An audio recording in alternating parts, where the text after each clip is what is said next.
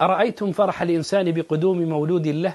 هكذا أنا علم الله حينما أقدم مشروعا أشعر أنني نفعت فيه الأمة. اليوم انطلق تطبيق آثار للمعالم التاريخية والسياحية المجاني وهو تتبع لكل المعالم التاريخية والسياحية في العالم قسم بحسب القارات ثم الدول ثم المدن ثم الموضوعات. فيه معلومات وفيديوهات وصور. مع ربطه بخرائط جوجل ماب تم ترجمته إلى اللغة الإنجليزية. تجد أشياء متعلقة بحياة الأنبياء والرسل أو الشعراء أو العلماء أو غير ذلك. لن أكلمكم عن الجهد والمال المبذولين. كل هذا أرجو ثوابه إلى الله. إنما أرجو منكم المساهمة في نشر هذا المقطع.